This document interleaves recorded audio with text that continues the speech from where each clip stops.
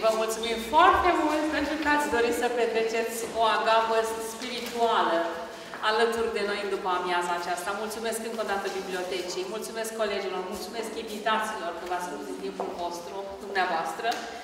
Și vă dorim să aveți parte de bine, de frumos, de sănătate și binecuvântări alese, pentru că toți suntem în prealma în continuarea săptămânii luminate. Vă mulțumim, vă mulțumim foarte mult de toată inima.